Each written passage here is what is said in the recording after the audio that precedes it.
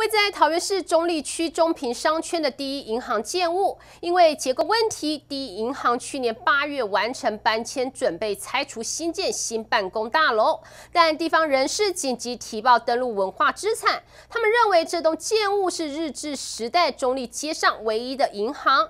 建物具一九三零年代现代主义风格的特色。目前文化局依文资法启动了审议程序。办理会勘，并要求六个月内不得动工。未来将研议是否能列入指定古迹，或是登录为历史建筑。一所谓的契约契约先暂停，或是怎样的部分去处理？我想这个呃部分是可以 去做处理的，或是用他们会告我。魏科长，你你讲的是蛮天真的，人家合约是没有没有没有，因为。一营改建包商对着文化局审查委员是大吐苦水，因为在动工拆除前夕，一纸公文阻挡了施工进度，也生怕没依照工程进度执行被意营罚款。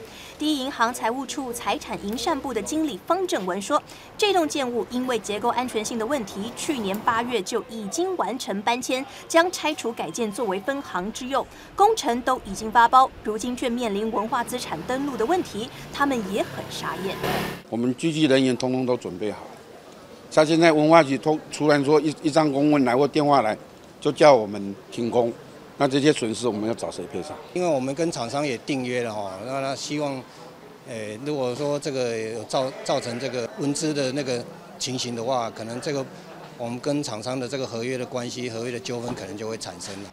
文化局表示，这栋建物建于一九三九年，是三联栋街屋，相当罕见，同时具有现代主义的风格。地方人士不舍拆除，提报文资会刊。文化局尊重民众的权益，将依法启动相关程序，六个月内完成审议。民众他有一个提报的权益，那依文资法的部分呢，我想文化局这边也会依法来启动相关的程序。那造成后续整个工程或是在呃。第一行整件或是租金等等的部分，我想这都是后续的一个议题。那也是从文化资产身份确认之后才会要去处理的议题。那这个部分也希望呃第一银行还有相关单位这边可以来做一个配合。但是包商指出，他们当时也是依法向公务局开工报准，三十多名工人和相关器材都已经准备好了。文化局只凭一纸公文就要求停工，定金一两千万都付了，相关的损失要向谁求偿？对此，文化局表示，建物在未列为暂定古迹之前，不适用文资法相关法则。他们坦言，只能道德劝说，希望业者和一营能够配合审议作业的进行，以保护珍贵的文化资产。桃园县新闻时代林中立。采访报道。